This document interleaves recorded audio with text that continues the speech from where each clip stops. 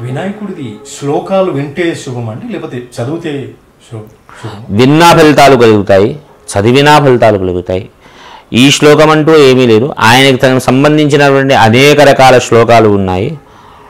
గణ పంచరత్నాలు కానీ గణపతి తా- తాండవ స్తోత్రం అని కానీ గణపతి యొక్క కవచము కానీ గణపతి యొక్క అర్చన కానీ గణపతి శ్లోకాలు కానీ విన్నా చదివినా ఫలితాలు శుభ ఫలితాలు కలుగుతాయి.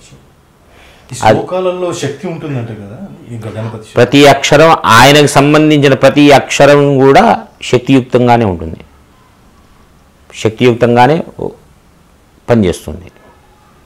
వినాయకుడికి సంబంధించి ఎన్ని పురాణాల్లో ఉందండి వినాయకుడి అన్- అన్ని పురాణాలు ఆయన ఆయనలోనే ఉన్నాయి కాబట్టి అన్ని పురాణాల్లో ఆయనే ఉన్నాడు.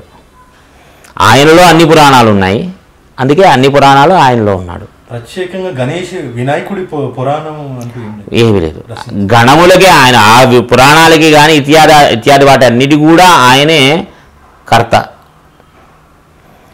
ఉదా ఉదాహరణకి వ్యాసుడు. వ్యాస మహర్షి భాగవతం భారతం ఇత్యాదివన్నీ కూడా ఆయన అనర్గళంగా చెప్పుకుంటూ పోతూ ఉంటే ఆయనతో పాటు సమానంగా చెప్తూ ఉంటే రాయగలిగిన సామర్థ్యం ఉన్నవాడు గణపతి కాబట్టి ఆయన్ని ఆరాధించి ఆయనని వరమం పొంది ఆయన చేత రాయించుకున్నాడు.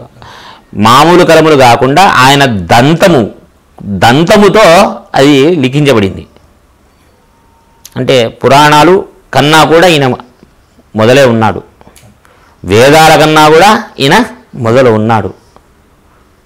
ఈశ్వరుడి యొక్క తత్వంలో నుంచే ఈయన ఉన్నాడు అనడానికి నిదర్శనం ఇది. వినాయకుడిని ఉదరం చుట్టూ ఈ ఉండడం రెండు రెండు ఉదాహరణలు చూపిస్తారండి.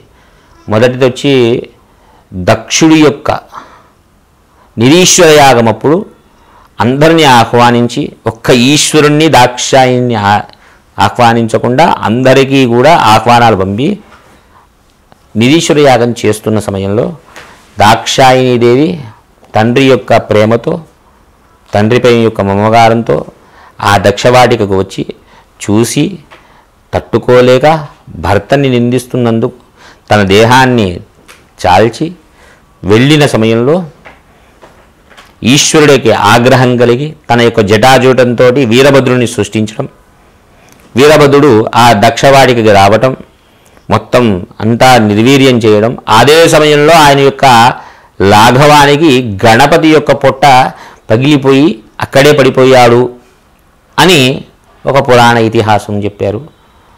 ఇంకొకటి ఏమిటయ్యా అంటే గణపతి చవితి వినాయక చవితి రోజున ఆయనకి భక్తులందరూ కుడుములు ఉండ్రాళ్ళు ప్రీతికరమైనటువంటి పదార్థాలు ఆయనకు పెట్టడం చేత అది ఆనందంగా స్వీకరించి ఈ తల్లిదండ్రులకి నమస్కారం చేద్దామని వచ్చిన సమయంలో చంద్రుడి చూసి ఆయన పడుతున్న అవస్థలను చూసి నవ్వ నవ్వడంతో గణపతి పుట్ట చీలిందని. అప్పుడు ఈ నాగబంధనం వేసి బంధించారని. నాగబంధనం. నాగబాబుతో బంధింపజేశారు అని చెబుతూ ఉంటారు. అది అనేక రకాలుగా ఉన్నాయి.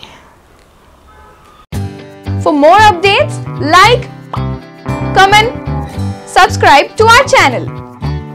Hey darlings, గంటని click చేయడం మర్చిపోకండి